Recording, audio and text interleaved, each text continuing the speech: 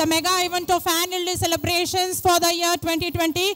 We can see the presence of our chief guest followed by our dignitaries within a short moment.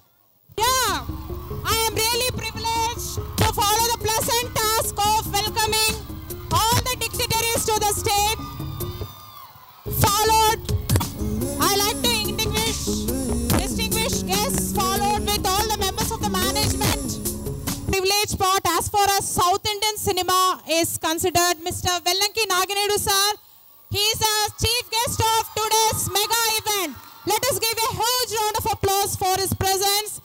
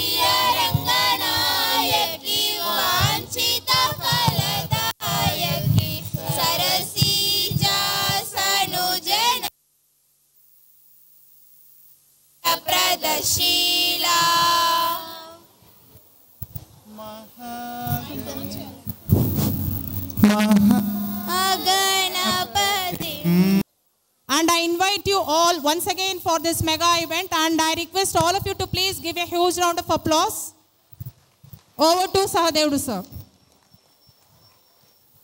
Sharada నీరదేందు ఘనసార పటీర మరాల మల్లికాహార తుషార ఫేన రజతాచల కాశఫణీశ కుంద మందార సుధాపయోధిసిత తామర సామర శుభాకరత నొప్పు నిన్ను మదిగానగనెన్నడుగల్గు భారతీ. చదువు సంధ్య చెప్పి సద్గుణమ్ములు నేర్పి మానవతను పెంచు జ్ఞానమిచ్చి. చదువు సంధ్య చెప్పి సద్గుణమ్ములు నేర్పి మానవతను పెంచు జ్ఞానమిచ్చి. కనుల కావలగల కాంతి చూపించిన కనుల కావలగల కాంతి చూపించిన గురువతంసములకు గుర్తునతులు సభకు నమస్కారం. ఈనాడు గెలివి వెంకటేశ్వర విద్యాలయం యొక్క వార్షికోత్సవ సందర్భంగా ఏర్పాటు చేసిన ఈ సభకు విచ్చేసిన విద్యార్థులకు తల్లిదండ్రులకు ఆహూతులందరికీ మా విద్యా సంస్థ తరపున హార్దిక శుభ స్వాగతం. It is nice to be great but it is great to be simple అంటాడు ఒక గొప్ప రచయిత. అది కొందరు తమ జీవితంలో ఆచరణ సాధ్యంగా చూపిస్తూ మనకు ఆదర్శప్రాయులవుతూ ఉంటారు. నలభై కోట్ల భారత ప్రజలను ఏకత్రాటిపై నడిపించగలిగిన మహాత్మా గాంధీ అతి సాధారణమైన దుస్తుల్లో ఉండేవాడు. అతి సాధారణమైన ప్రయాణం చేసేవాడు. అందరితో కలుపుగోలుగా కలుగుతూ మీరందరిలో నేను ఒకరినిగా భావించవలసిందిగా చేసినందువలనే స్వాతంత్ర సమరం అంత ఉద్ధృతంగా దీక్షగా కొనసాగింది. అలాంటి వాళ్ళు మళ్ళీ మళ్ళీ చరిత్రలో మనకు తారసపడుతూ ఉంటారు. అలాంటి వాళ్ళు వారిలో ఒకరు ఈనాటి ముఖ్య అతిథి శ్రీ నామినేడు గారు. నాగినేడు గారు ఈ కార్యక్రమానికి రావడానికి తమ వృత్తి అయిన సినిమా షూటింగ్ను కూడా కాదనుకొని ఇక్కడికి రావడానికి ఏవో గొంతెమ్మ కొరుగులు కోరుతూ కొన్ని సౌకర్యాలు కల్పించవలసిందిగా అడగకుండా సాధారణ పౌరులాగా బస్సులోనే ప్రయాణం చేసి మనందరి మధ్య ఒక సాధారణ వ్యక్తిగా వెలుగుతూ ఉన్నారంటే దట్ ఈస్ హిస్ సింప్లిసిటీ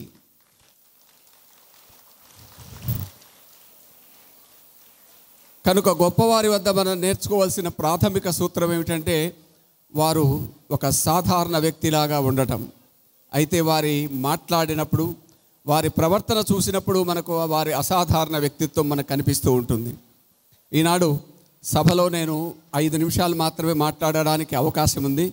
ఎందుకంటే ఎక్కువ సమయం ఈనాడు మన కోసం వచ్చేసిన శ్రీ నాగినేడు గారి ఉపన్యాసం వారి సందేశం విని మీలాగే నేను కూడా కుతూహలపడుతున్నాను కాబట్టి నేను ఎక్కువగా మీ మధ్య నిలబడను. ఇంతవరకు నేను స్కూటర్లో ఈ ఫంక్షన్ కాలకు రాబోతూ రాస్ థియేటర్ దగ్గర ఒక రోడ్డు క్రాస్ చేయడం జరిగింది. రోడ్ క్రాస్ చేస్తూ ఉంటే మా మనవరాలు నా వెనక కూర్చొని ఉంది. తాత ఇట్లా రాకూడదు కదా అట్లా ముందుకు వెళ్ళి యూటర్న్ తీసుకోవాలి కదా అని అనింది. అప్పుడు నాకు ఒక మాట గుర్తొచ్చింది. ఏమిటంటే ఒక స్నేహితుడు విదేశాలకు వెళ్ళాడట. విదేశాలకు వెళ్ళి రాత్రి ఒక ఫంక్షన్ అయిన తర్వాత మళ్ళీ తిరిగి వస్తున్నారు.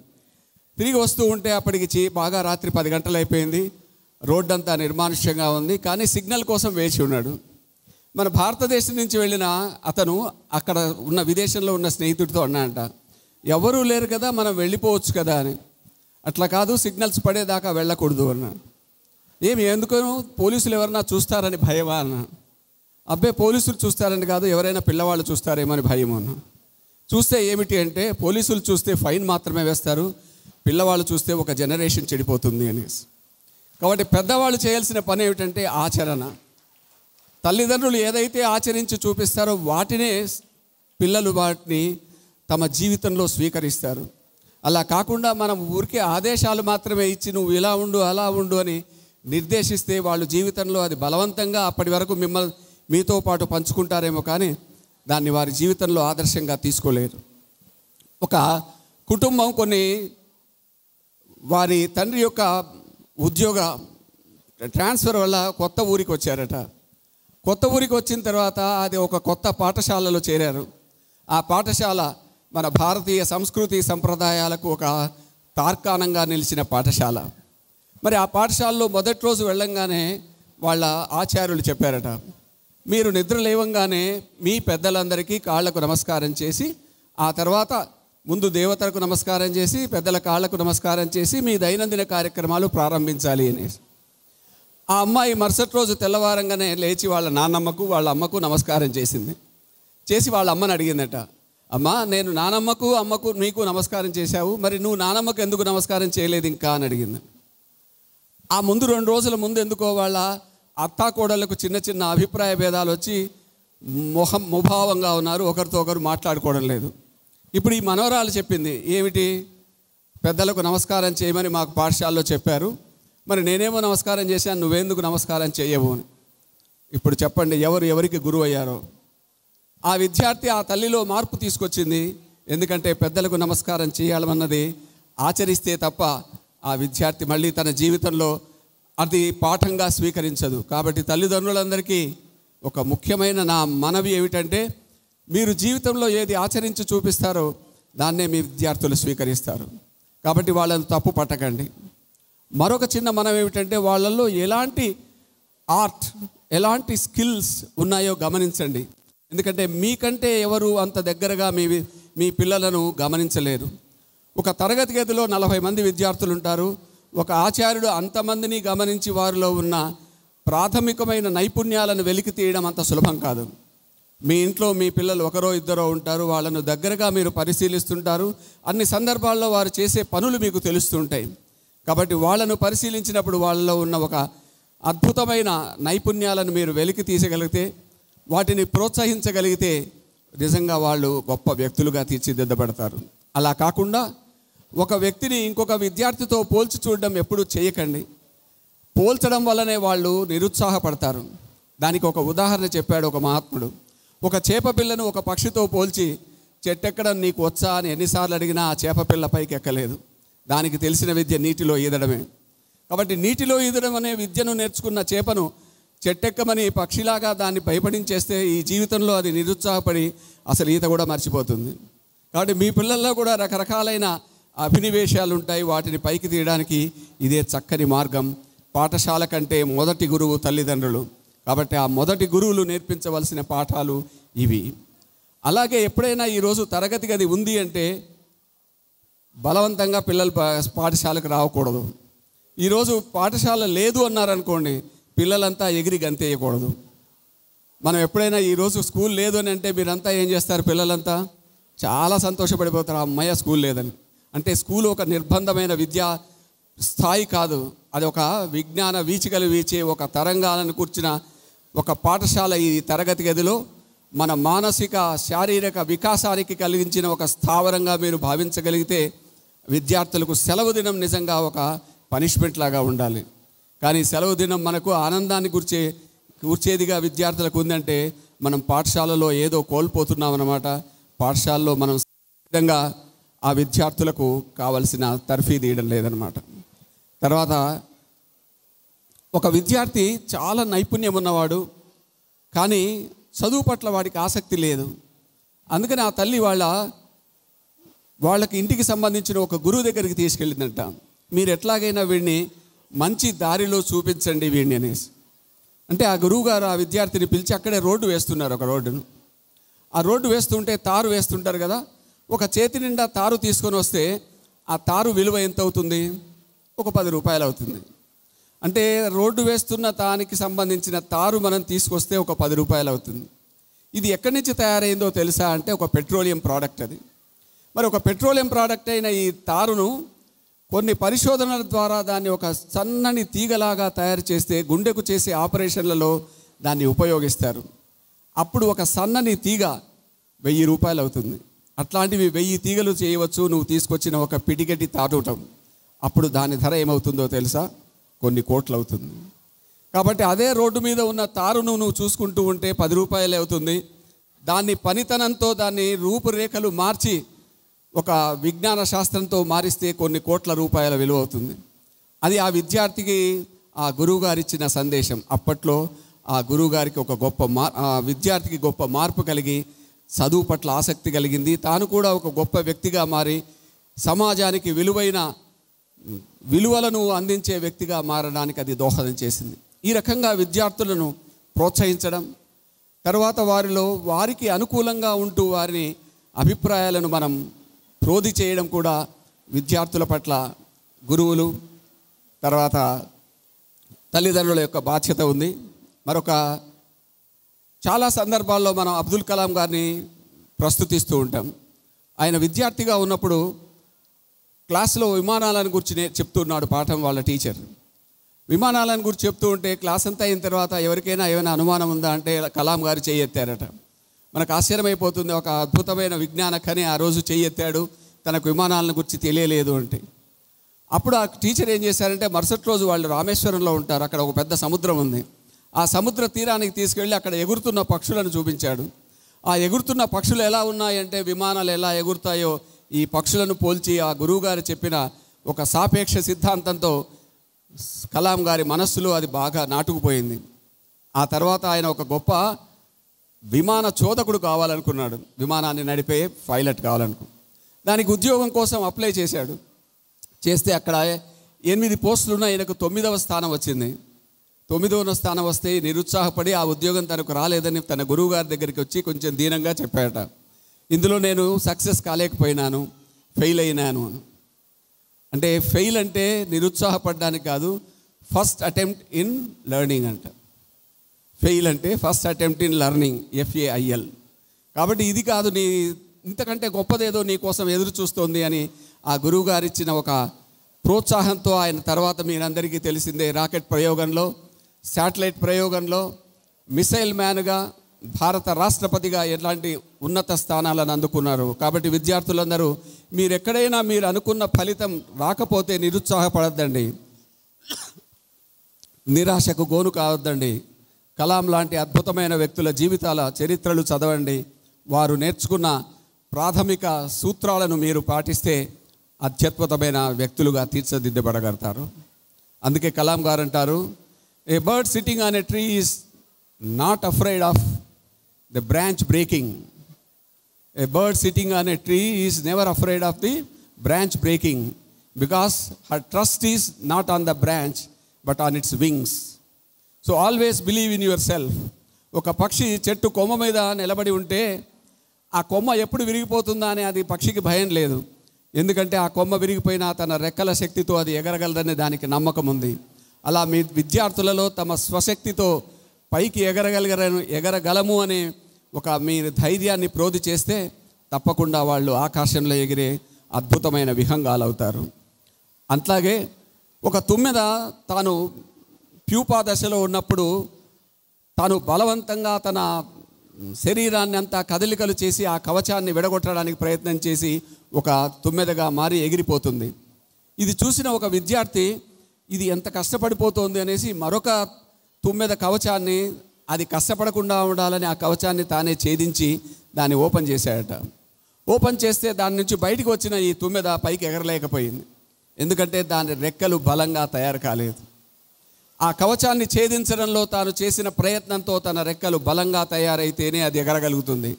కాబట్టి మీ పిల్లల కోసం మీరు చేసే ప్రయత్నంలో వారికి చిన్న చిన్న ప్రయత్నాల్లో మీరు చేయూతనివ్వకండి. వాళ్ళంతకు వాళ్ళే సాహసం చేసి దాన్ని ఎదుర్కోలేలాగా చేయగలిగితే అప్పుడు వాళ్ళకు ఈ సమాజంలో బలమైన రెక్కలు కలిగి ఆకాశానికి ఎగరగలిగే తుమ్మెదల్లాగా విహరిస్తారు. మీరే చిన్నప్పుడు వాటికి సహాయం చేసి నా పిల్లాడని ముద్దు చేస్తే వాడు సమాజంలో ధైర్యంగా సాహసంగా ఎదుర్కోలేడు. కాబట్టి అనేక విషయాలు ఉన్నాయి ఇవన్నీ మీ ముందుంచడానికి సమయం లేదు. వక్తలు పెద్దలైన నామినేడి గారు నాగిరెడ్డి గారు మనకు అందించబోయే సందేశం కోసం మీరంతా ఎదురు చూస్తున్నారు కాబట్టి ఆ సందేశాన్ని వినడానికి నాకు కూడా కుతూహలం ఉంది కాబట్టి ఈ నాలుగు మాటలతో మిమ్మల్ని పంచుకునేందుకు అవకాశం ఇచ్చినందుకు ఒకసారి గ్లోరియా మేడం గారు నాకు ఒకసారి ఫోన్ చేశారు. చాలా రోజుల క్రితం ఫోన్ చేసి నన్ను ఒక మాట అడిగారు. శ్లోకానికి మంత్రానికి భేదమేమీ? What is the difference between shloka and mantra? వారి గుర్తుండి ఉంటుంది. ఎందుకు అడిగారో నాకు తెలియదు ఆ విద్యార్థులతో ఆ సందర్భం ఏదైనా పంచుకోవాలనుకున్నారేమో తెలియదు అప్పుడు ఏం చెప్పానంటే శ్లోకం అంటే మీరు పుస్తకంలో చదివి ఇంకొకరికి చెప్పవచ్చు. మంత్రం అంటే పుస్తకంలో చదివి ఇంకొకరికి చెప్పేది కాదు. ఆ మంత్రాన్ని కొన్ని లక్షల సార్లు ఉపాసన చేసి ఒక గురువు ద్వారా మాత్రమే ఉపదేశం పొందగలిగితేనే అది మంత్రం అవుతుంది. అది కాగితం మీద వ్రాసుకొని చదివేది కాదు. కాబట్టి మంత్రానికి శ్లోకం కంటే ఒక ఉన్నత స్థాయి ఉంది అని. అంటే ఒక కొత్త విషయాన్ని తెలుసుకోవాలని మన కోఆర్డినేటర్ గారు గ్లోరియా గారు నాకు ఫోన్ చేసి శ్లోకానికి మంత్రానికి అర్థం ఏమిటి విభేదం ఏమిటి అని అడగడం అంటే వాళ్ళకున్న ఒక జిజ్ఞాస కొత్త విషయాలను తెలుసుకుని మళ్ళీ పిల్లలతో పంచుకోవాలనే జిజ్ఞాస. ఇలాంటి ఆచార్యులు ఉన్న ఒక విద్యాలయంలో తాము కొత్తగా విషయాలు తెలుసుకొని పిల్లలకు ఆ విషయాలను అందించేందుకు చేసే ప్రయత్నమే ఒక నిరంతర విద్యా విధానం. ఈ విద్యా విధానంలో ఆచార్యులు విద్యార్థులు తల్లిదండ్రులు కూడా ఒక భాగస్వాములై తమ విద్యార్థులను భావి భారత పౌరులుగా తీర్చిదిద్దేందుకు ప్రయత్నం చేస్తారని ఈనాడు సినిమాలలో విలన్ పాత్ర ధరించి మనందరికీ ఒక కరడు గట్టిన ఒక వ్యక్తిగా కనిపించే వారి వెనుక ఇంత చరిత్ర ఉందని నాకు ఇంతవరకు తెలియదు. వారు వ్యక్తిత్వ వికాసం కోసం విద్యార్థులలో స్ఫూర్తివంతమైన ప్రసంగాలతో ఈ పరీక్షా సంవిధానాన్ని ఎదుర్కొనే సాహసవంతులుగా తీర్చిదిద్దడంలో వారు ఎంతో ప్రయత్నం చేస్తూ తమ వ్యక్తిగతమైన లాభాపేక్ష లేకుండా ఇలాంటి కార్యక్రమాలకు విచ్చేస్తున్నారంటే నిజంగా వారు హృదయపూర్వకంగా అభినందనీయులు. ఎప్పుడైనా ఎక్కడైనా ఎవరు వస్తారు మీకోసం అంటే పరీక్షల ముందు మిమ్మల్ని ప్రోత్సహించే వాళ్ళు రావాలి. ఆనాడు కురుక్షేత్రంలో ధనుర్బాణాలు రథంలో విడిచిపెట్టిన అర్జునుడి కోసం ఒక శ్రీకృష్ణుడు అవతరించి భగవద్గీతను అందించాడు. ఈరాజు ఈరోజు పరీక్షల కోసం సంసిద్ధులైతున్న అర్జునులు ఎంతమందో ఉన్నారు. వారందరికీ గీతను బోధించి ఒక పరీక్ష అనే కురుక్షేత్ర యుద్ధంలో సాహస వీరులుగా విజయవంతంగా కావడానికి విచ్చేసిన శ్రీకృష్ణుడు నాగిరెడ్డి గారు నమస్తే Thank you, sir, for your delightful speech. I request Mr. Subramaniam sir to address the gathering. సభాకల్పతరుం వందే వేదశాఖోపజీవితం శాస్త్రపుష్ప శాస్త్రపుష్ప విస్ విద్మద భ్రమర శోభితం ఈ చిన్న పద్యంతో ఇక్కడ వచ్చిన అతిథులకు వచ్చిన మన విద్యార్థిని స్టాఫ్ అందరికి కూడా నా హృదయపూర్వక నమస్కారాలు తెలుపుకుంటూ అందరూ వేచి ఉన్నారు. నాగిరెడ్డి గారి యొక్క ముఖ్య సందేశాన్ని వినాలని. కాబట్టి నేను ఎక్కువ కాలాన్ని తీసుకోకుండా తక్కువ సమయంతోనే ముందు వారి యొక్క ఉపన్యాసాన్ని త్వరగా వచ్చేటట్టు చేస్తాను. నేను అప్పుడప్పుడు వింటూ ఉంటాను. అన్నిటికంటే దానాల కంటే అన్ని దానాల కంటే విద్యాదానం గొప్పదని. విద్యాదానం గొప్పదంటే నాకు ఈ నడవ లేటెస్ట్గా తెలిసింది. నేను నా నియరెస్ట్ రెవెన్యూ క్వార్టర్స్లో నేను ఉన్నాను. నేను అట్లా తిరుగుతూ ఉన్నప్పుడు ఎక్కడ నా షాపింగ్ పోయినప్పుడు ఒక పాప షాపింగ్లో సార్ మీ స్కూల్లో నేను చదివి చిన్నప్పటి నుంచి ఈరోజు విప్రో కంపెనీలో సాఫ్ట్వేర్ ఇంజనీర్ అయినాను సార్. ఇది ఒక్క కేవలం గెలివి వెంకటేశ్వర విద్యాలయమే సార్ అనే దాంతో వాళ్ళు చెప్పడం జరిగింది. ఎంత I felt very happy regarding our Gelvi Venkateswara Vidyalayam school ఒక పాప వచ్చి సార్ ఆ పాప చిన్న షాపింగ్ చేస్తుంది ఏదో ordinary poor people below poverty నేను ఈరోజు విప్రో కంపెనీలో సాఫ్ట్వేర్ జాబ్ వచ్చిందంటే ఎంతోమంది మన దగ్గర చదువుకున్న వాళ్ళు nineteenth academic year of this Gelvi educational society ఎంతోమంది డాక్టర్స్ అయినారు ఎంతోమంది సాఫ్ట్వేర్ ఇంజనీర్స్ అయినారు. రియల్గా చెప్పాలంటే హ్యాపీయెస్ట్ జీవితంలో ఏమి పెట్టినా కూడా లాభం లే ఒక విద్యాదానం అనేది దాన్ని మించింది లేదనే భావంతో ఈ రకంగా ఒక Rotary International as international happy school అంటే రియల్గా చెప్పాలంటే I proud to say My Gelvi school is happiest school. Because there are some quotations are there. Medical care, emergency care, playground, good atmosphere, both drinking water, safety drinking water and spiritual atmosphere. That is everybody must have spiritual atmosphere you must know library everything all these eight to ten qualities are need it they will consider as happiest school సామాన్యంగా మనం అందరం చెప్తూ ఉంటాం. This also I proud to say గురువుకు సద్గురువుకు గల తేడా. గురువు అంటే టీచర్ ఆ టయానికి వచ్చి మనకు చదువులు చెప్పి వాళ్ళను గురువు అంటారు. సద్గురువులు పెద్ద గురువులు అంటే మనకు జీవిత పరమార్థాన్ని గుర్చి మనం జీవితంలో ఎట్లా జీవించాలనే భావాన్ని గుర్చి సద్గురువులు మనకు నేర్పిస్తారు. మేము చిన్నప్పుడు చదివేటప్పుడు నీతి కథలు మారల్ స్టోరీస్ వల్ల ఉండేటివి వల్ల మనం ఏమి చేయాలా జీవితంలో ఎలా బతకాలి? That is the most important ఈరోజు వచ్చే మనకు ర్యాంకులు distinctions are not the criteria how to lead a life in our public in future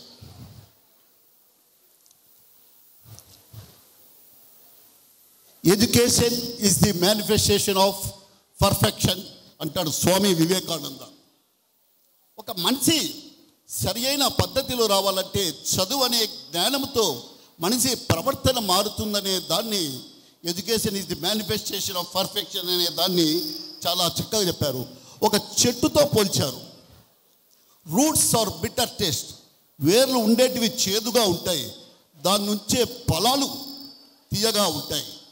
ఎట్లా తీయగా ఉంటాయంటే మనము చిన్నప్పుడు ఇక్కడ స్టూడెంట్ను చేరిన వాడిని మౌల్డ్ చేస్తాం. గట్టిగా కొట్టి తట్టి అన్ని చేసి ఆ రోజు వాడు జీవితంలో సెటిల్ అయినప్పుడు that is the fruits they are getting so so many fruits from our Gelvi education చూస్తే ఈ నైన్టీన్ ఇయర్స్లో ఎంతోమంది ఎంజాయ్ చేసినారనే భావాన్ని చాలా చక్కగా చెప్పవచ్చు. సో మెనీ థింగ్స్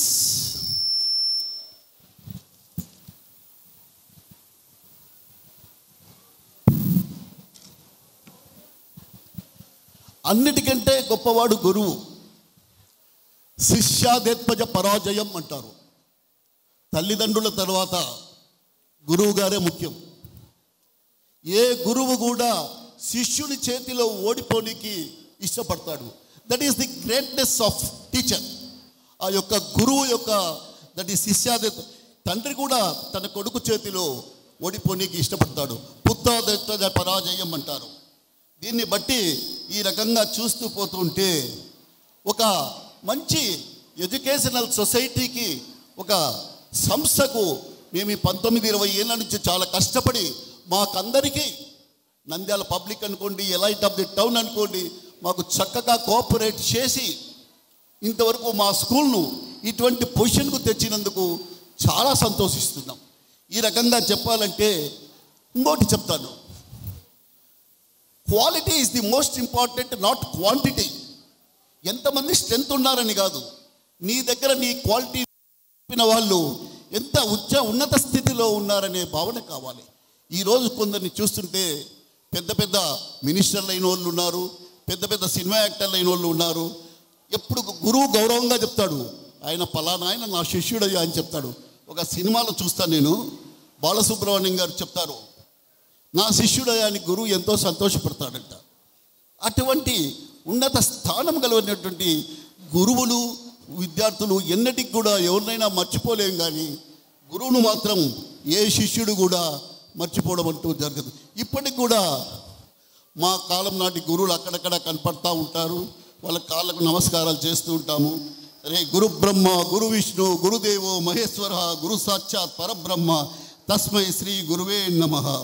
సో ఈ రకంగా చెప్తూ పోతూ ఉంటే మాకు చివరగా ఇంత ఇరవై సంవత్సరాల నుంచి మా ఎలు గెలువి ఎడ్యుకేషనల్ సొసైటీకి సహకారం అందించినటువంటి ఇక్కడికి వచ్చిన తల్లిదండ్రులందరికీ నంద్యాల పబ్లిక్ అందరికీ నా హృదయపూర్వక నమస్కారాలు తెలుపుకుంటూ thank you for giving this I have not taken much time thank you for giving this excellent and golden opportunity for giving for my valuable speech.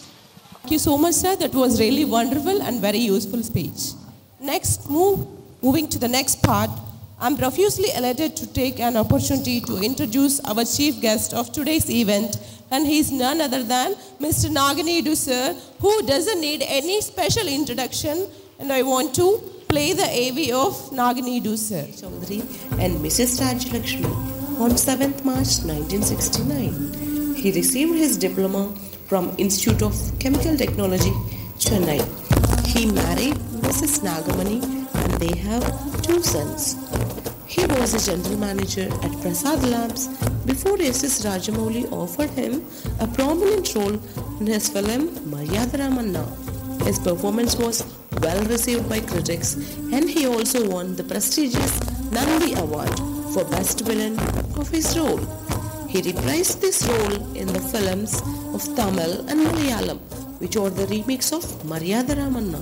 Let us see some clips of our Maryada Ramanna.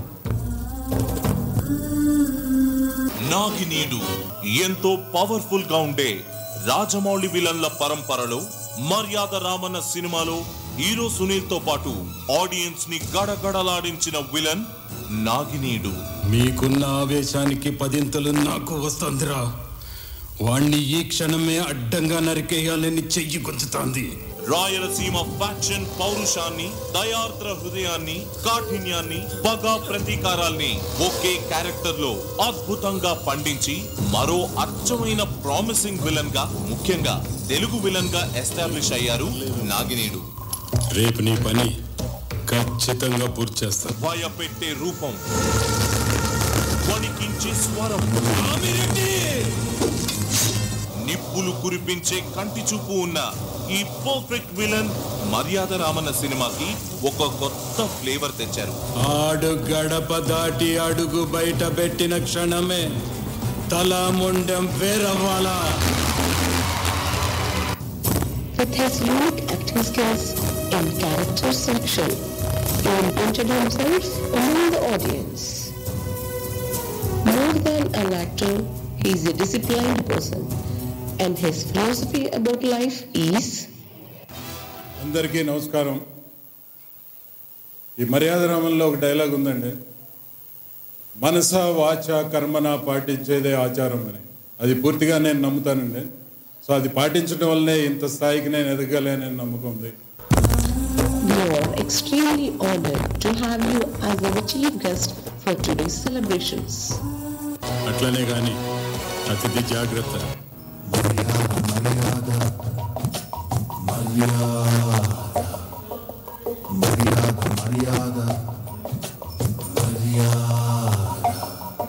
So let us call upon our our chief guest, Mr. Vellanki Naganedu sir, to please address the gathering. Yes, ladies and gentlemen, let us give a huge round of applause for the great man of South Indian cinema.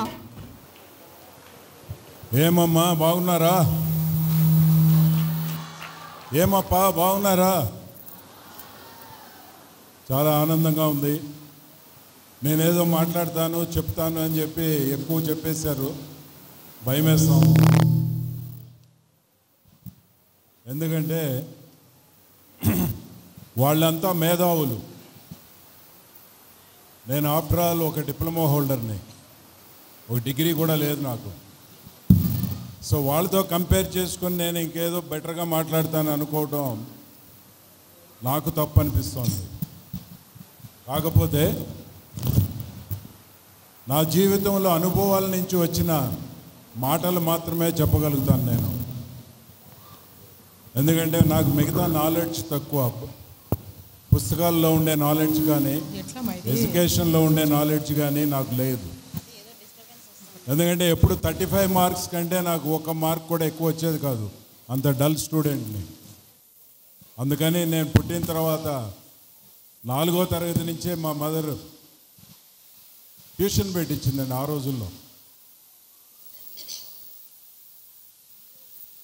Ninth స్టాండర్డ్లో ట్యూషన్కి వెళ్ళేటప్పుడు ట్యూషన్కి వెళ్ళకుండా థియేటర్కి వెళ్ళి ఒక reel రెండు reel అయిన తర్వాత వాళ్ళు పది పైసలు తీసుకుని ఆ లోన్కి అలౌ చేస్తూ ఉంటారు.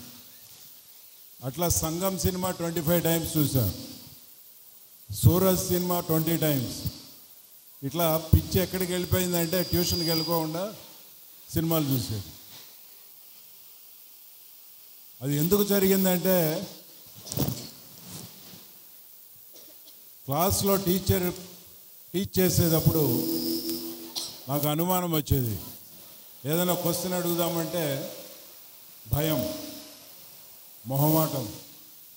అందుకని ఆ టీచర్ ముందుకు వెళ్ళిపోయిన తర్వాత నేను ఇంక ఏమి అడగలేక నా ఊహల్లోకి వెళ్ళిపోయేవాడిని. ఎన్టీ రామారావు గారి సినిమాలు నాగేశ్వరరావు గారి సినిమాలు ఈ సినిమాలకు ఆలోచనలోకి వెళ్ళిపోయేవాడిని. చాలా ఆనందంగా ఉండేది ఆ రోజుల్లో ఎందుకంటే మాకు కాంపిటీషన్ లేదు.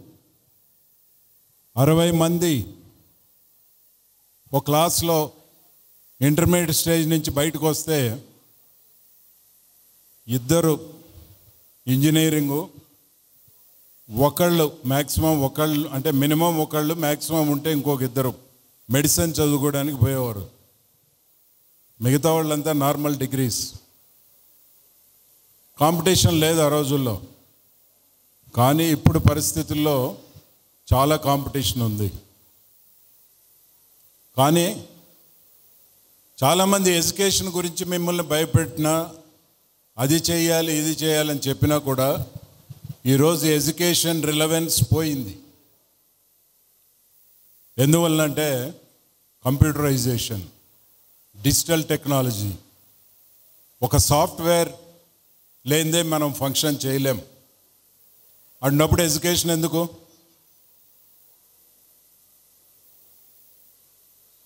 సో ఇప్పుడు అదంతా చెప్పడం మొదలెడితే ఈ స్కూల్ యాజమాన్యం నన్ను గడప దాటే లోపలే నరికేస్తారు.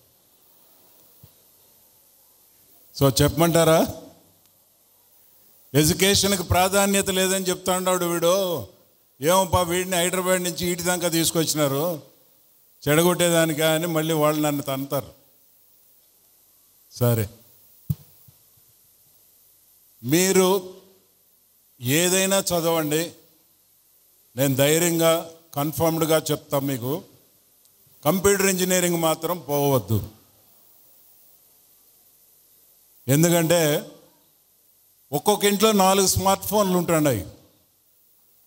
మన ఇంట్లో పనిచేసే వాళ్ళు రోడ్లు ఊడ్చేవాళ్ళు కానీ ఎవరైనా కానీ కింద స్థాయి వాళ్ళు కానీ స్మార్ట్ ఫోన్ని ఆపరేట్ చేస్తున్నారు. నా దగ్గర ఉండే పర్సనల్ అసిస్టెంట్ నా దగ్గర ఉండే డ్రైవర్ నాకంటే బెటర్గా స్మార్ట్ ఫోన్ ఆపరేట్ చేస్తుంటారు. మరి దానికి ఎడ్యుకేషన్ ఉందా? వాళ్ళు ఏమైనా కంప్యూటర్ ఇంజనీరింగ్ చదువుకున్నారా? లేదు. అంటే మన బ్రెయిన్ ఫంక్షనింగ్ లేదు. ఇంకో బ్రెయిన్ అంటే సాఫ్ట్వేర్. లోడ్ చేస్తే దాన్ని ఆ ఇన్స్ట్రక్షన్స్ ప్రకారం మనం ఫంక్షన్ చేయాలి. ఇది మీకు అర్థమయ్యేది ఎట్లా చెప్పాలంటే ఒక మెకానికల్ ఇంజనీర్ కారు మ్యానుఫ్యాక్చరింగ్ యూనిట్లో ఉద్యోగం. కారు మ్యానుఫ్యాక్చర్ చేసేటప్పుడు డిజైన్ చేసేటప్పుడు యాక్సిడెంట్ అయితే మనిషికి ఏమవుతుంది? What will happen to the human being ఆ రోజుల్లో శవాలను తీసుకొచ్చి హాస్పిటల్ నుంచి కారులో కూర్చోబెట్టి ఒక యాక్సిడెంట్ క్రియేట్ చేస్తే ఆ బాడీకి పార్ట్స్లో ఎక్కడెక్కడ దెబ్బలు తగిలినాయి ఏ విధంగా తగిలింది కారు ఎలా డ్యామేజ్ అయింది అనేది అనాలిసిస్ అంతా ఒక పేపర్ మీద రాసుకుని ప్రోటోటైప్ కార్ చేసి తయారు చేస్తూ ఉన్నారు. కానీ ఇప్పుడు కంప్యూటర్ సిమ్యులేషన్. కార్ మ్యానుఫ్యాక్చరర్స్ ఏం చేస్తున్నారు? కంప్యూటర్లో సిమ్యులేట్ చేస్తున్నారు యాక్సిడెంట్ని.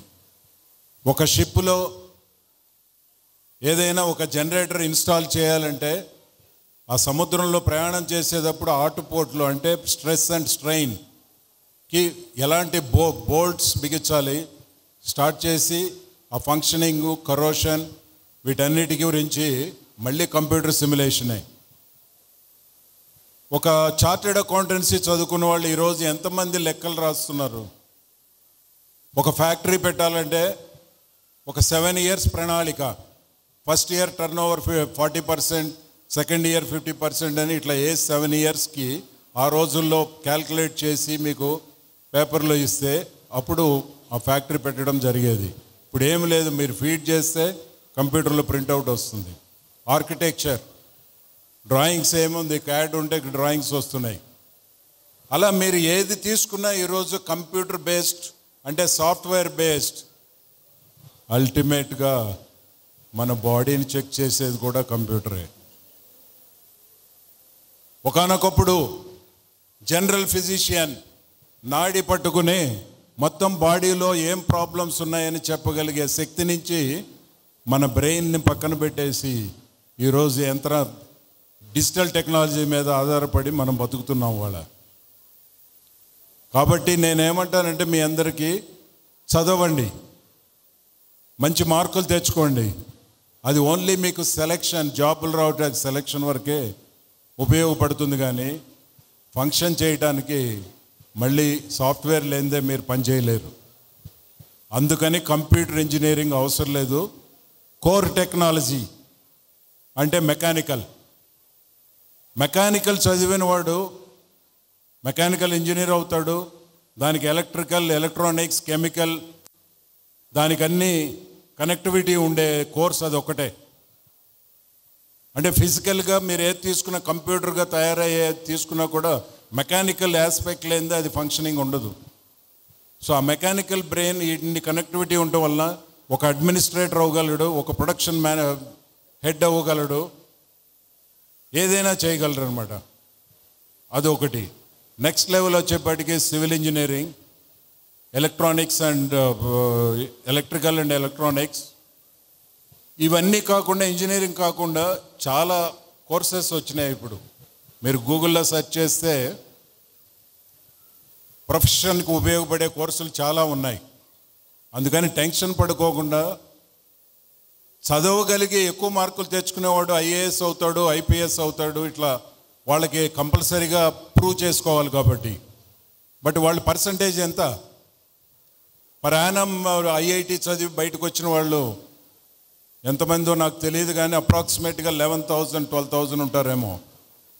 మిగతా వాళ్ళంతా ఫిఫ్టీన్ ల్యాక్స్ పదిహేను లక్షల గ్రాడ్యుయేట్స్ ఫ్రమ్ ఇంజనీరింగ్ నుంచి బయటకు వస్తుంటారు సంవత్సరానికి. మరి వాళ్ళందరికీ ఉద్యోగ అవకాశాలు వేరే చోట్ల ఉన్నాయి దానికి అగైన్ కంప్యూటర్ ఎనేబుల్డ్ వర్క్ చేయటమే. కాబట్టి మీ పిల్లలకి మీరు వాళ్ళు ఏం చదవాలనేది మీరు చెప్పుకోకుండా వాళ్ళంతటికి వాళ్ళే అనలైజ్ చేసుకునేది ఒక ప్రక్రియ ఉంది. అదేంటంటే స్వాట్ అనాలిసిస్ అంటారు కార్పొరేట్ హౌసెస్లో. స్వాట్ అంటే S W O T strength weaknesses opportunities and threats అంటే ప్రతి విద్యార్థి ఒక డైరీ పెట్టుకుని నైన్త్ టెన్త్ లెవెన్త్ ట్వెల్త్ అయ్యే లోపల ఫోర్ ఇయర్స్ ఒక డైరీలో తన యొక్క బలం ఏంటి బలహీనతలు ఏంటి ఆపర్చునిటీస్ ఏంటి థ్రెట్స్ ఏంటి అప్డేట్ చేసుకుంటూ ఉండాలి. నిన్న ఉండే స్ట్రెంగ్త్ ఈరోజు ఉండకపోవచ్చు. నిన్నుండే వీక్నెస్ ఈరోజు ఉండకపోవచ్చు. ఆపర్చునిటీస్ మారుతాయి థ్రెట్స్ మారుతుంటాయి. కాబట్టి వాళ్ళు ఆ డైరీని మెయింటైన్ చేసి twelfth standard intermediate final year అయ్యే లోపల వాళ్ళ మెయిన్ కోర్ స్ట్రెంగ్త్ ఏంటి అని కంక్లూడ్ చేస్తే ఫోర్ ఇయర్స్ డిగ్రీ చదివితే ఫార్టీ ఇయర్స్ ప్రొఫెషనల్ లైఫ్ని ఆ పిల్లలే డిజైన్ చేసుకోవడానికి అవకాశం ఏర్పడుతుంది. ఎందుకంటే నా దగ్గర ప్రసాద్ ఫిల్మ్ ల్యాబొరేటరీస్లో నేను పనిచేసేటప్పుడు ఉద్యోగ అవకాశాల కోసం చాలామంది వచ్చేవారు. బీకామ్ చదివినవాడు అనిమేషన్. అట్లా కనెక్టివిటీ లేకుండా ఎందుకు చదివావు అంటే మా పేరెంట్స్ చెప్పారు లేకపోతే ఇంకా లెక్చరర్స్ చెప్పారు లేకపోతే సమాజంలో అట్రాక్ట్ అయ్యాను అంటున్నారు. సో ఇది జరగకుండా ఉండటానికి మీ గురించి మీరే అనలైజ్ చేసుకునేటట్టుగా పిల్లల్ని వాళ్ళు వాళ్ళు అనలైజ్ చేసుకునేటట్టుగా మీ తల్లిదండ్రులు వాళ్ళకి చెప్పగలిగితే వాళ్ళకి ఒక మార్గం ఏర్పరిచిన వాళ్ళు అవుతారు. లేకపోతే అన్కనెక్టెడ్గా చదువుతారు. తర్వాత రిపెంటెన్స్ ఉంటుంది. ఇప్పుడే పొద్దున ఒక స్కూల్లో చాలామంది స్టూడెంట్ ఒక seven hundred eight hundred stud స్టూడెంట్స్ని వాళ్ళకి ఇట్లాగే మాట్లాడి వచ్చాను. క్వశ్చన్ క్వశ్చన్ ఆన్సర్స్ జరిగినాయి. అక్కడ పేరెంట్స్ని తిట్టేశాను. ఇప్పుడు వాళ్ళంతా బయలుదేరి వస్తున్నారు. సో నన్ను కొట్టడానికి. సరే మీరు అందరూ నన్ను కాపాడతారా? అంటే ఏమని తిట్టానని అడగలేదే మీరు? మీ తల్లిదండ్రులకు సిగ్గు లేదు మానం లేదు అది లేదు సిగ్గు లేదు సంరక్షణ లేదు. మీ పిల్లలంతా ఇలా తయారవటానికి కారణం పేరెంట్సే కారణం. దానికి వాళ్ళు అలా తయారవటానికి కారణం మా జనరేషన్. మా తల్లిదండ్రులు మా తాతలు మమ్మల్ని భయ భయపెట్టి భయభక్తులతో పెంచడం వల్ల నా కొడుకులు నా కూతుళ్ళు వాళ్ళకి నేను ఫ్రీడమ్ ఇవ్వాలి. వాళ్ళకి ఏం కావాలో ఏర్పరచాలని వాళ్ళని చెడగొట్టేశాం. అది ఇప్పుడు రియలైజ్ అయ్యాం. ఆ చెడగొట్టిన మా పిల్లలు వాళ్ళ పిల్లల్ని ఇంకా చెడగొడుతున్నారు. ఎందుకంటే మీరు చెప్తే నమ్మరు. నాకు ఇద్దరు కొడుకులు. థర్టీ ఇయర్స్ బ్యాక్ ఎంతమంది అంటే మైనస్ అని చెప్పేవాడిని. సో దేవుడు నువ్వు ఎప్పుడు మైనస్ అంటున్నావు కదా నీకు రెండు ప్లస్లు పంపిస్తున్నాను అని చెప్పి ఇద్దరు మనవరాలను ఇచ్చాడు. నాకు థర్టీ ఇయర్స్ అనుకోండి ఏజ్ అంతకంటే లేదు. అంటే మెంటల్గా అక్కడ ఫిక్స్ అయిపోయాను.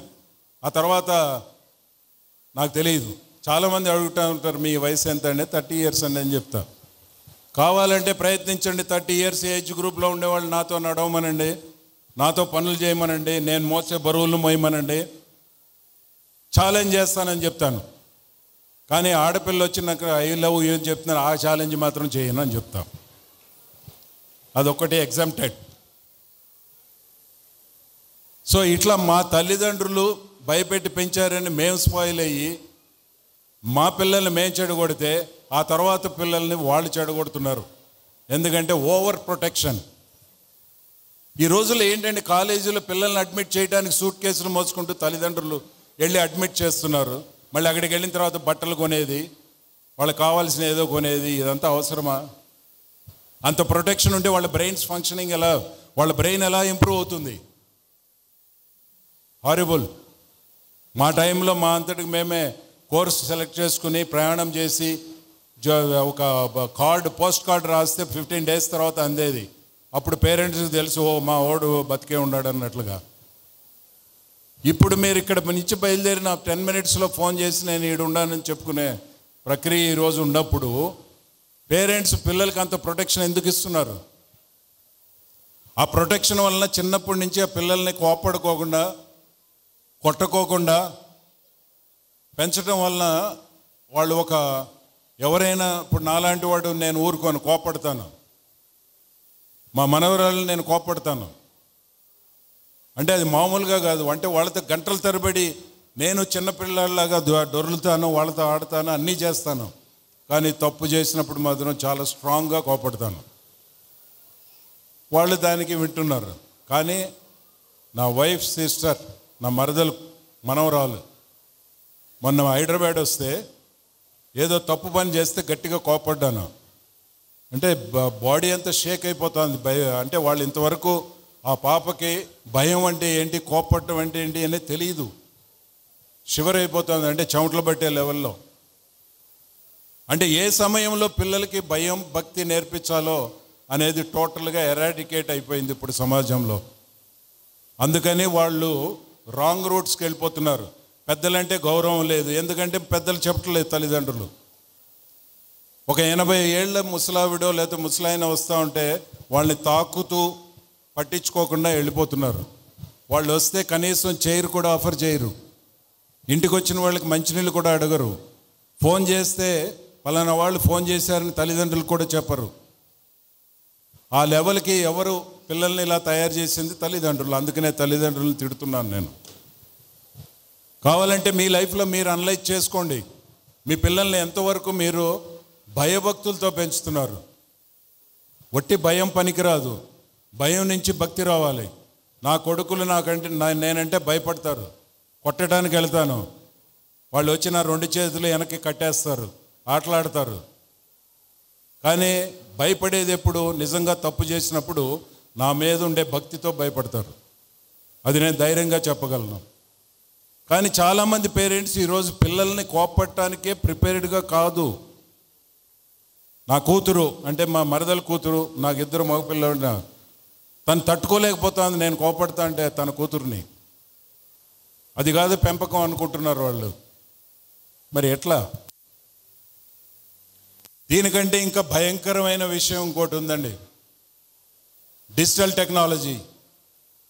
డిజిటల్ టెక్నాలజీ రావడం వల్ల కాన్సన్ట్రేషన్ తల్లిదండ్రులు ఎక్కడికి వెళ్తుంది ఒక బెడ్రూమ్లో తల్లి వాట్సప్. ఇంకో రూమ్లో తండ్రి థమ్స్అప్ చేతిలో పెట్టుకుని వాట్సప్. పిల్లలు ఏం చేస్తున్నారు? ట్యాబ్. పాలు దాకపోతే ట్యాబ్. అన్నం తినపోతే ట్యాబ్. లేకపోతే ఐప్యాడ్. లేకపోతే ఫోన్లో. ఈ లెవెల్కి మనం పిల్లల్ని పెంచితే వాళ్ళకి బ్రెయిన్ డెవలప్మెంట్ ఎలా అవుతుంది? వాళ్ళ జీవితంలో జరిగేదాన్ని తట్టుకునే శక్తి ఎక్కడి నుంచి వస్తుంది? నాకు రోజు సమస్య వెళ్ళిన చోటల్లా తిడుతూ ఉంటాను కానీ వాళ్ళు ఎదురు తిరుగుతారు.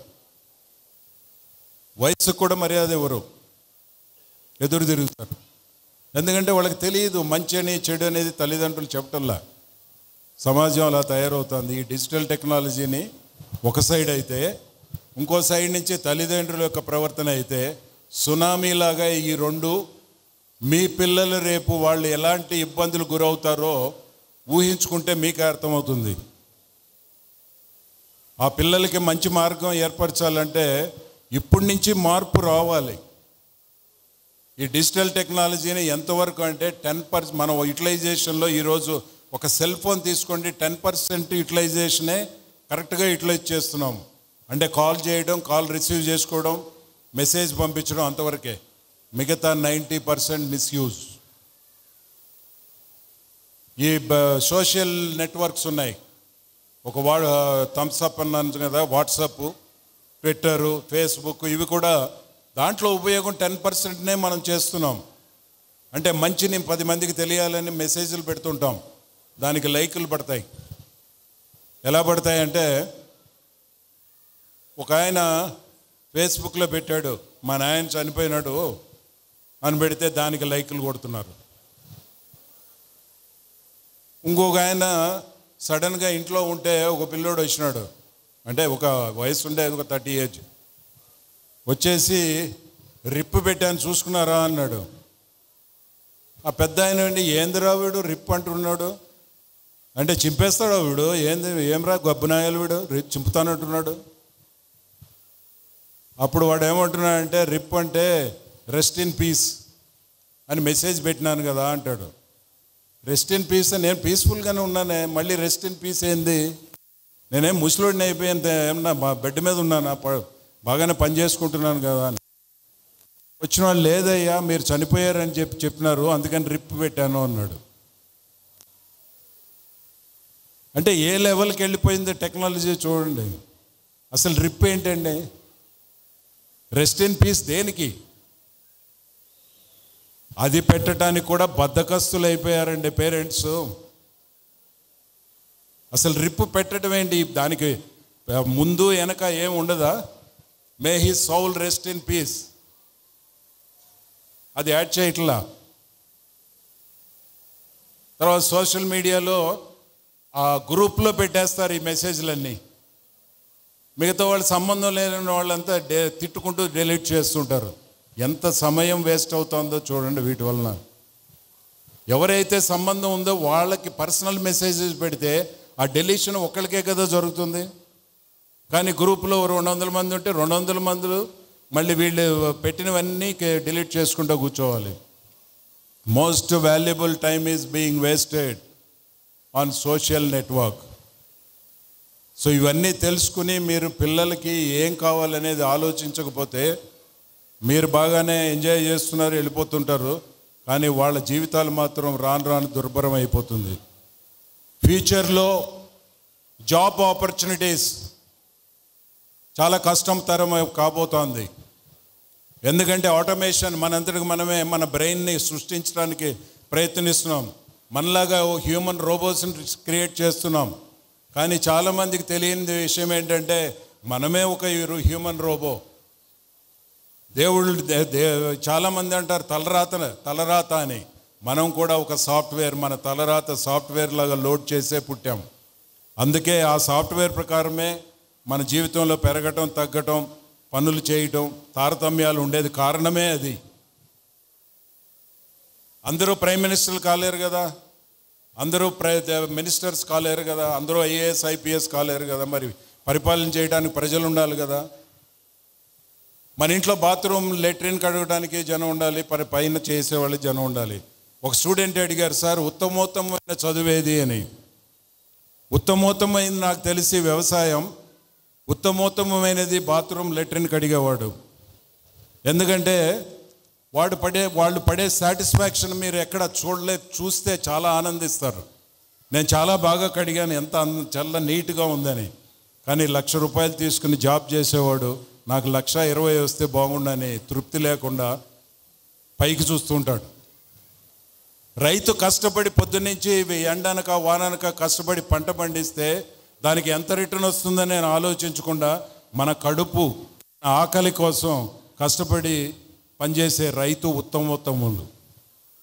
సో ఎడ్యుకేషన్లో ఉత్తమోత్తమైన ఎడ్యుకేషన్ అంటూ ఏది ఉండదు.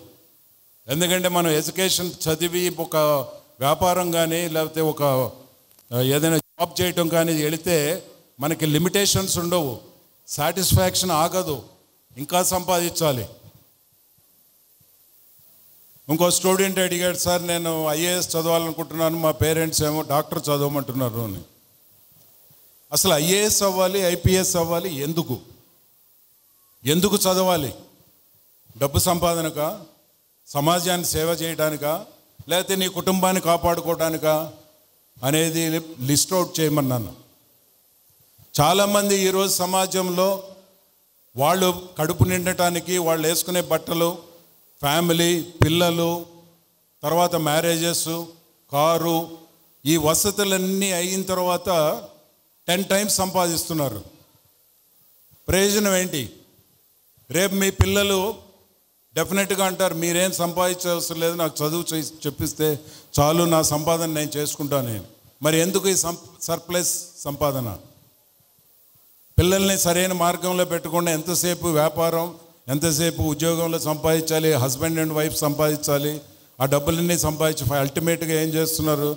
వంద కోట్లు సంపాదించిన వాడి పిల్లలు కూడా అమెరికా ఇక్కడికి వెళ్ళిపోతున్నారు. So where is the limitation దీనికి నా సమాధానం ఏంటంటే మన తెలుగు రాష్ట్రాల దౌర్భాగ్యం ఏంటంటే ఉత్పత్తి విధానం సర్వీస్ ఓరియంటెడ్ బిజినెసెస్ ఇవి ఎక్కడా లేవు. ఉద్యోగ అవకాశాలు లేవు ఫ్యాక్టరీలు లేవు. అందరూ వేరే కంట్రీస్కు వలసపోతున్నారు. సో ఈ స్టూడెంట్కి ఏం చెప్పానంటే నువ్వు బతకడం కోసం నీ ఫ్యామిలీ ఉండడం కోసం నువ్వు లిమిటెడ్గా సంపాదిస్తావా? లేదు సర్ప్లస్గా సంపాదిస్తావా? డెసిషన్ తీసుకో. సర్ప్లస్ సంపాదించాలంటే నేను ఒక ఫ్యాక్టరీ పెట్టాలి ఒక సర్వీస్ సర్వీస్ ఓరియంటెడ్ చేసి ఒక వంద మందికి ఎంప్లాయ్మెంట్ ఇస్తాననే దృక్పథంలో అయితే సంపాదించు. అంతేగాని tons and tons of money వెనకబెట్టుకుని దాన్ని ఎంజాయ్ చేయలేక దాన్ని కాపాడుకోలేక టెన్షన్ పడి బీపీలు షుగర్లు తెచ్చుకుని ప్రయోజనం ఏంటి? సో మీరు పేరెంట్స్ అంతా ఇక్కడ ఉన్నారు కాబట్టి ఇవన్నీ ప్రస్తావన తీసుకొస్తున్నాను. మీరు ఆలోచించండి. భవిష్యత్తు గురించి మీ పిల్లల గురించి. ఇట్లా మాట్లాడుతూ పోతూ ఉంటే twenty four by seven twenty four hours మాట్లాడగలను. నా ఓపికని పరీక్షిస్తే మీరే ఓడిపోతారు. కాకపోతే మాట్లాడేవాళ్ళు ఎంతైనా మాట్లాడతారు. చాలా తేలిక అనిపిస్తుంది. కానీ మీలో ఉండే మీ సమస్యలు మీ బాధలు మీరేం కోరుకుంటున్నారో నాకు తెలియదు. ఒకవేళ మీరు పర్మిషన్ ఇస్తే మీరు ఎవరైనా క్వశ్చన్లు వేయదలుచుకుంటే సమాధానం చెప్తాను. పాలిటిక్స్ అడగద్దు సినిమాల గురించి అడగద్దు. సబ్జెక్ట్స్ గురించి అడగద్దు. నాకు అంత నాలెడ్జ్ లేదు నేను మొద్దుని. మిగతా ఛాలెంజ్ వీడి సమాధానం చెప్పలేడు దీనికి అన్నట్టుగా ఛాలెంజ్గా పెద్దలు పిల్లలు ఎవరైనా క్వశ్చన్లు వేస్తానంటే యు ఆర్ మోస్ట్ వెల్కమ్ అది వాళ్ళ పర్మిషన్తో టైం ఉంది అనుకుంటే. సో ఎవరైనా ఆయన రెస్ట్రిక్షన్ పెట్టేశారు. ఫైవ్ టెన్ మినిట్స్ అంటే క్వశ్చన్ ఆన్సర్ మొదలైందంటే నాకు టూ త్రీ అవర్స్ పడుతుంది. నాకు అంటే ఏంటి అంతమంది క్వశ్చన్లు వేస్తారు అని చెప్తున్నా. సో ఒక మైక్ అందిస్తే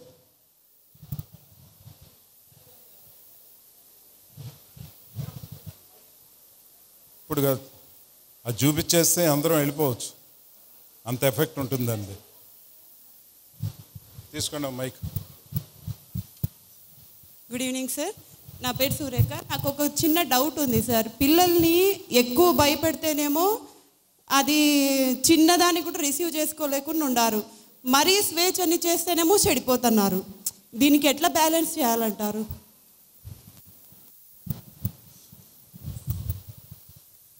సో సోదరిమణి అడిగింది ఏంటంటే పిల్లల్ని ఎక్కువ భయపెడితే వాళ్ళు ఫీల్ అవుతున్నారు. ఫ్రీడమ్ ఇస్తే చెడిపోతున్నారు. నేను ఇందాక ఆల్రెడీ సమాధానం చెప్పాను. దేనికి భయపెట్టాలి వాళ్ళని? వాడు కాలు తీ పిల్లోడో లేకపోతే అమ్మాయి కాలు తీస్తే కాలు పెడితే తిడితే వాళ్ళు చేసే వాళ్ళు చేయాల్సిన కొన్ని ఒక స్కూల్లో ఒక టీచర్ ఇదే ఇలాంటి క్వశ్చనే వేరే విధంగా అడిగింది. సార్ ఏంది సార్ పిల్లోళ్ళు? మేము ఎంత చెప్పినా వినరు గలాటాలు చేస్తారు సార్ వీళ్ళు ఎట్లా సార్ వీళ్ళని? మేము మేము వాళ్ళ మంచి కోసం చెప్తా ఉంటే గలడాలు చేస్తారు అల్లరి చేస్తూ ఉంటారు. అప్పుడు ఆ అమ్మకి నేను ఏం చెప్పానంటే ఏమ్మా వాళ్ళు అల్లరి చేసి ఏది చేయకుండా మనం చేస్తామా? వాళ్ళ వయసు అలాంటిది అల్లరి చేయాలి వాళ్ళు. చేస్తేనే ఎంజాయ్ చేయాలంటే స్టూడెంట్స్ అందరూ రియాక్ట్ అయ్యి చాలా చప్పట్లు కొట్టే లెవెల్లో చేశారు. అప్పుడు వాళ్ళని తిట్టాను.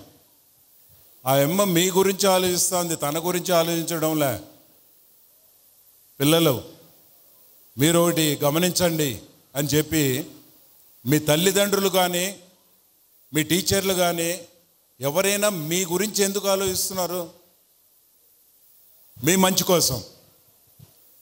సో దాన్ని మీరు మిస్యూజ్ చేస్తే నష్టపోయేది ఎవరు? మీ తల్లిదండ్రులు కాదు పిల్లలే. ఈ విషయాన్ని పిల్లలకి చెప్పే విధంగా చెప్తూ అంటే ప్రాక్టికల్గా మనం ఇన్వాల్వ్ చేయాలి వాళ్ళని. బట్ అంత ఇన్వాల్వ్ చేసి ఆ పిల్లలతో టైం స్పెండ్ చేసే అంత టైం మీలో ఉందా? హస్బెండ్ అండ్ వైఫ్ సంపాదిస్తున్నారు. నేను రికమెండ్ చేసేది నా ఫ్యామిలీ మెంబర్స్ కానీ ఫ్రెండ్స్ కానీ హస్బెండ్ అండ్ వైఫ్లో ఎవరో ఒకళ్ళే పనిచేయండి వైఫ్ పనిచేస్తా అంటే హస్బెండ్ ఇంటి దగ్గర ఉండండి. ఎప్పటి వరకు? పిల్లలు ఫిఫ్త్ స్టాండర్డ్ వచ్చేంత వరకు పేరెంటల్ గైడెన్స్ ఉండాలి. వాళ్ళతో మనకి వాళ్ళకి టైం కేటాయించాలి. మా టైంలో మేము ముగ్గురు అన్నదమ్ములు ముగ్గురు అక్క చెల్లెలు ఆరుగురు ఉన్నాం. మాకెవరు టైం కేటాయించే అవసరం లేదు. మేమే ఆడుకునేవాళ్ళం అన్నీ చేసేవాళ్ళం. కానీ ఇప్పుడు ఇళ్ళల్లో ఎంతమంది ఉంటున్నారు పిల్లలు? కంబైన్డ్ ఫ్యామిలీస్ లేవు. ఇండివిజువల్గా సిటీల్లోనూ టౌన్లో బతుకుతున్నారు. మీకుండేది ఒకళ్ళో ఇద్దరు. మరి వాళ్ళకి మీకు టైం కేటాయించుకోకుండా చేస్తే వాళ్ళకి భయ భక్తి ఎక్కడి నుంచి వస్తుంది? It's not so easy you sacrifice for the sake of your children you spend as much time as possible sit with them play with them explain them you behave like a children అవి ఎంతమంది చేస్తున్నారు?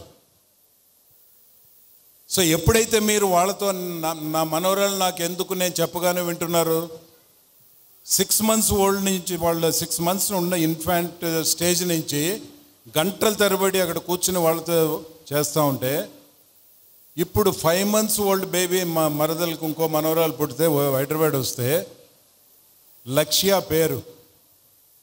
లక్ష్య బేటీ అనగానే ఇట్ట తిరిగేది. అంటే తన పేరుతో పిలిచానని తిరిగింది అనుకుంటున్నారా? కాదు. నా వాయిస్ అంటే గంటల తరబడి ఆ పాపతో నేను స్పెండ్ చేయడం వల్ల నా వాయిస్ను గుర్తుపడతా ఉంది. మరి ఎంతమంది పేరెంట్స్కి మీ వాయిస్కి పిల్లలకి ఇంపార్టెన్స్ క్రియేట్ చేయగలుగుతున్నారు? సో మీరు టైం కేటాయించాలి. హస్బెండ్ అండ్ వైఫ్లో ఒక్కళ్ళే పని చేయండి. ఒకళ్ళు ఫిఫ్త్ స్టాండర్డ్ వరకు చే వచ్చే వరకు వాళ్ళని కాపాడండి. అన్నీ చెప్పండి. వాళ్ళతో ప్లే ఆడుకోండి. వాళ్ళతో బయట తిరగండి. ఎన్నో ఎన్నో ప్రక్రియల్లో వాళ్ళతో భాగం పంచుకోండి. అప్పుడు వాళ్ళు మీకు మీకు భయపడతారు భక్తితో. అది నేను గ్యారంటీ ఇస్తాను. కావాలంటే ఈరోజు ఈ డేటు ఈ టైము ఈ నిమిషం ఈ సెకండ్ నుంచి నోట్ చేసుకుని నాకు వన్ ఇయర్ తర్వాత మీరు ఎవరైతే చేశారో నీ అన్నీ చేశానండి కానీ ఏం మార్పు లేదని చెప్తే నేను పాదాభివందనం చేస్తాను. క్షమించండి అని. ఎందుకంటే నేను సక్సెస్ అయ్యాను కాబట్టి ఆ కాన్ఫిడెన్స్తో చెప్తున్నాను. అందరూ అంటారు అంటే నా కూతురు లేరు కాబట్టి నన్ను తాత అని పిలవద్దు. అంటే రీజన్ వేరే అనుకోండి నేను ముప్పై ఏళ్ళ కూడా నేను తాత అనిపించుకోవడం ఏంటి అనేది ఉండొచ్చు. అహంభావం అహంకారం అయి ఉండొచ్చు. బాపు అని పిలుస్తారు నా మనవరాళ్ళు. ఆ బాపుకి మనవరాళ్ళకి బాపు అంటే చాలా ఇష్టం. నేను అందరినీ కరెక్ట్ చేస్తాను కాదు. నేను వాళ్ళతో టైం స్పెండ్ చేస్తున్నాను. వాళ్ళ నాయనమ్మ స్పెండ్ చేయట్లా. ఆవిడ పోయి షాప్లోకి పొద్దున్నే పది గంటలకు పోయి నైట్ పది గంటలకు వస్తుంది. కాబట్టి వాళ్ళ నాయనమ్మ దగ్గరికి వాళ్ళు పోరు. నా పిల్లలిద్దరూ ఇంజనీరింగ్ పోగానే నా వైఫ్ని ఒక చిన్న వ్యాపారం చెప్పాను నా వైఫ్కి. ఆవిడ అందే నేను టెన్త్ ఫెయిల్డ్ కదా క్యాల్కులేటర్ కూడా నొక్కడం చేత కాదు. నాకెందుకు బిజినెస్ అప్ చెప్తున్నారు అని. అమ్మ నువ్వు కూర్చుని ఇంట్లో టీవీ సీరియల్ చూసి కొంగు తడుపుకుని కళ్ళు నీళ్ళు పెట్టుకునే దానికంటే ఏదో ఒకటి పని చేయంటే మరి నాకు క్యాల్కులేటర్ కూడా నొక్కడం చేత కాదంటే నువ్వు ఏమీ చేయవసరంలా. డబ్బులు వస్తే గల్లాపేటలో వేసుకో. ఎవరైనా డబ్బులు అడిగితే మా ఆయన్ని అడుగు అని చెప్పాను. ఇప్పుడు ఆవిడ ఎంత డెడికేటెడ్ అంటే బిజినెస్లో morning ten to night ten. నేను మార్నింగ్ టెన్ నుంచి నైట్ టెన్ వరకు మ్యారీడ్ బ్యాచులర్. పని మనిషి రాకపోతే నేనే ఊడ్చుకొని తుడుచుకొని అంట్లు తోముకొని నా పనులు నేనే చేసుకుంటాను. దానివల్ల ఏమవుతుంది? ఆ రోజు ఎక్సర్సైజ్ ఆర్టిఫిషియల్ ఎక్సర్సైజ్ చేయకుండా న్యాచురల్ ఎక్సర్సైజ్ ఎంతమంది లేడీస్ వాళ్ళ ఎంతమంది మగవాళ్ళు ఎంతమంది పిల్లలు ఊబకాయం అంటే లావ్ అయిపోయి బాడీ ఎంత అయిపోయి సఫర్ అవుతున్నారు. చాలామంది. ఎందుకు? అనాదిగా వచ్చిన పనులు ఏమీ చేయట్లే మనం. అంటే మా నాయన మా మా అమ్మమ్మ పొద్దున్నే మూడు గంటలకు లేచి వెన్నపూస కోసం ఇట్లా రెండు చేతులతో నడుం తర్వాత ఊదటం పొయ్యి ఊపిరితిత్తులు కింద కూర్చుని తుడవటం ఊడవటం ఇవన్నీ చేయటం వల్ల ఆ కాలం వాళ్ళు ఆరోగ్యంగా ఉన్నారు. నేను హైదరాబాద్ ఎయిర్పోర్ట్ నుంచి పోతా ఉంటే లెవెన్ కిలోమీటర్స్ ఒక ఫ్లైఓవర్ మీద పోతాం. పోయేటప్పుడు లెఫ్ట్లో చూస్తే ఒక ఎవరి ఫర్లాంగ్కి ఒక జిమ్ ఉంటుంది. ఏమ్రా వీళ్ళంతా దొబ్బి తిని ఖర్చు పెట్టి దొబ్బి తిని ఒళ్ళు పెంచుకొని మళ్ళీ ఖర్చు పెట్టి ఒళ్ళు తగ్గించుకోవడానికి వచ్చినారు వీళ్ళు. అదే ఇంట్లో పనులు చేసుకుంటే అవసరం లేదు కదా అనుకుంటుంటాను.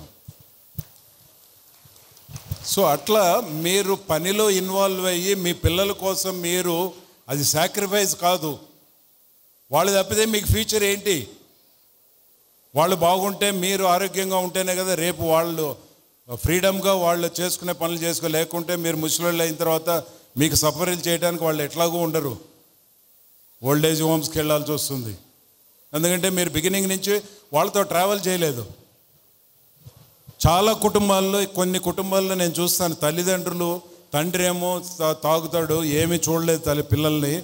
కానీ అతను కుటుంబంతో టైం స్పేర్ చేయటం వల్ల కుటుంబ వాళ్ళ పిల్లలతో స్పెండ్ చేయటం వల్ల ఆ పిల్లలు ఆ తండ్రిని చాలా కాపాడుకుంటున్నారు. ఆయనకుండే బ్యాడ్ హ్యాబిట్స్ గురించి ఎప్పుడు వాళ్ళు పట్టించుకోలేదు. సో అందుకని మీ రిలేషన్షిప్ విత్ పిల్లలతో పెరగాలంటే మీరు ఎవరో ఒకళ్ళు పిల్లలతో చాలా టైం స్పెండ్ చేసి వాళ్ళని మీ మీద భక్తితో భయాన్ని కలిగించితే ఇలా జరగదు. క్వశ్చన్ వేసింది ఎవరండి?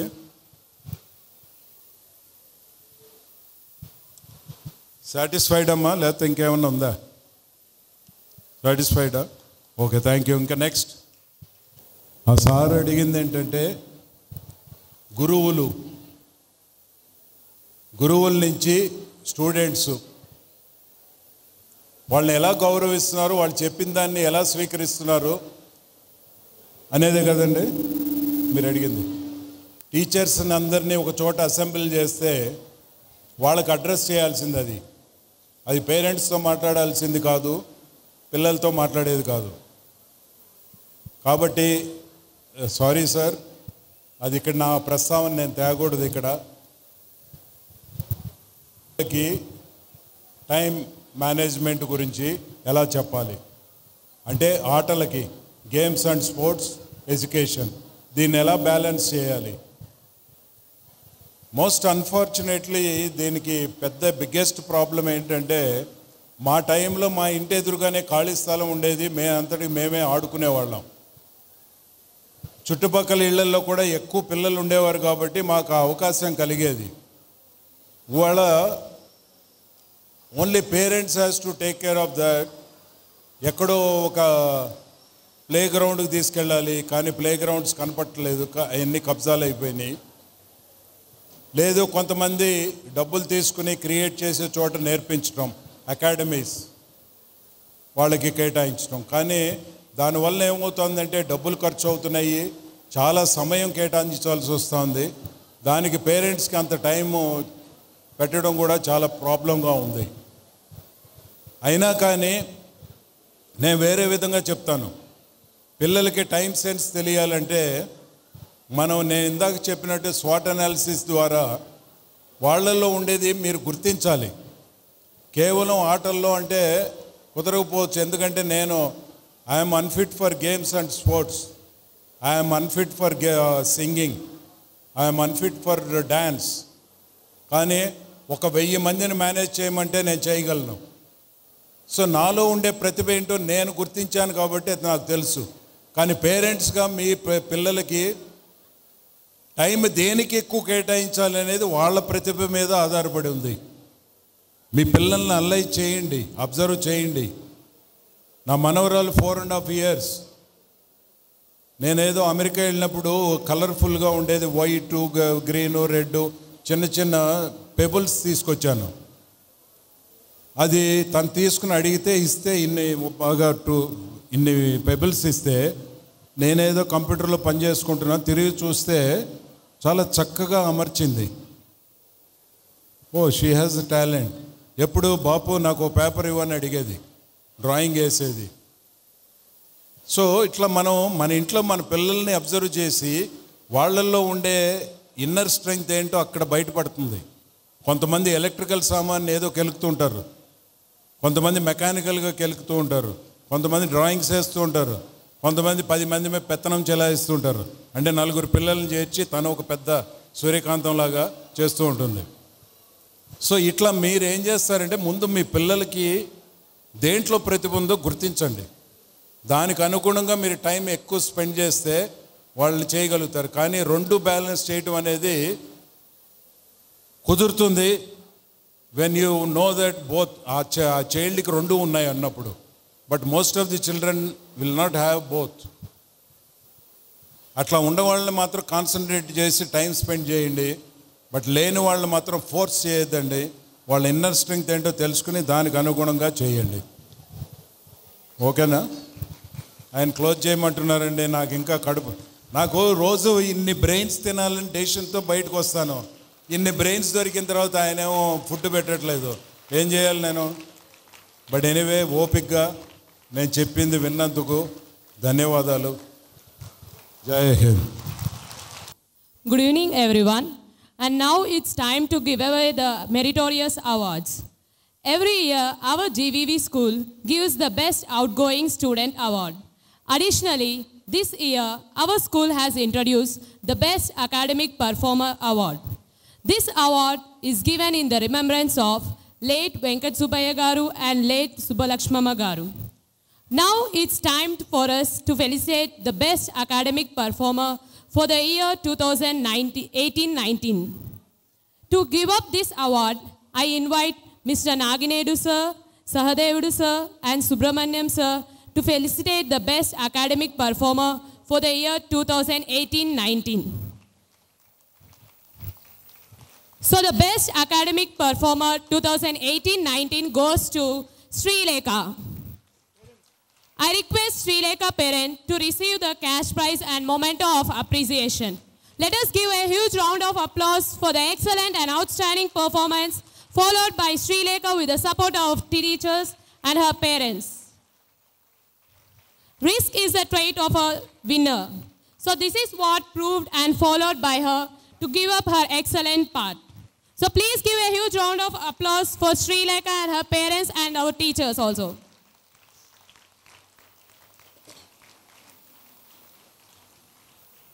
Thank you, sir. Thanks for all the dignitaries for presenting the award.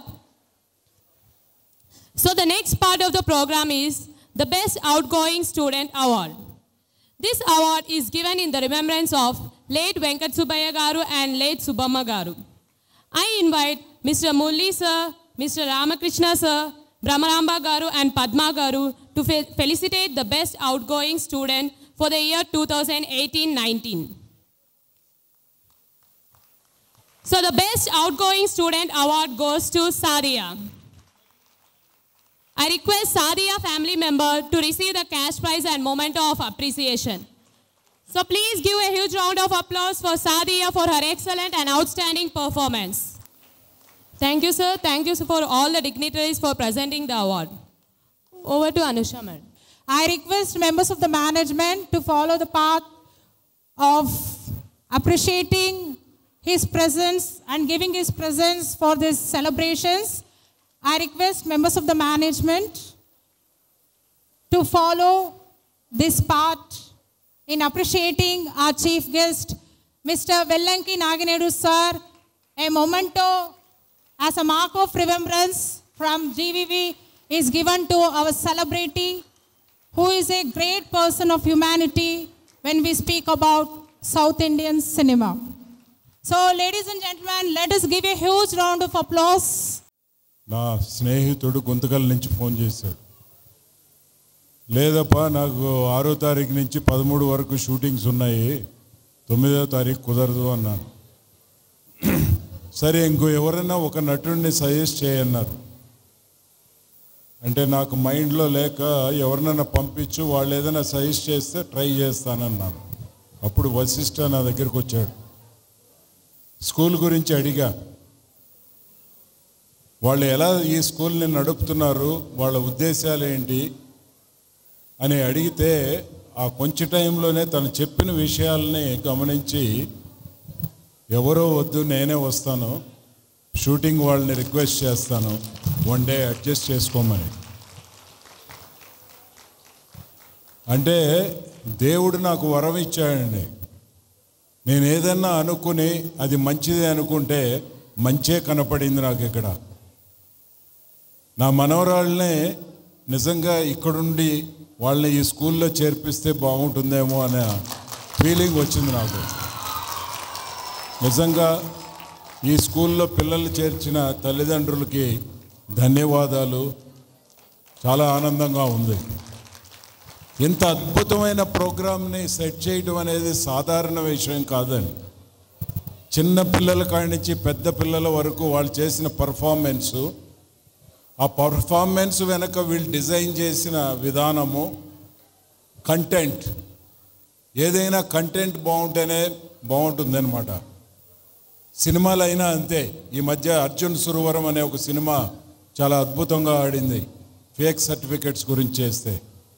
So ఇక్కడ ఈ డిజైన్ ఎవరు చేశారో ఏదో అనే దానికంటే వాళ్ళందరికీ శిరస్సు వంచి నమస్కారాలు చెప్తున్నాను.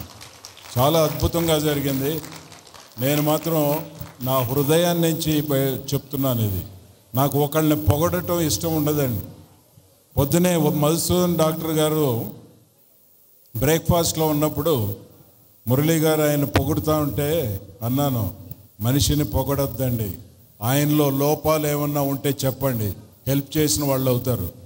ఆయన గొప్పవాడని ఆయనకే తెలుసు. మీరు కొత్తగా పొగిడేది ఏముంది? అని చెప్పాను. అట్లా నాకు పొగడటం అనేది ఇష్టం ఉండదు.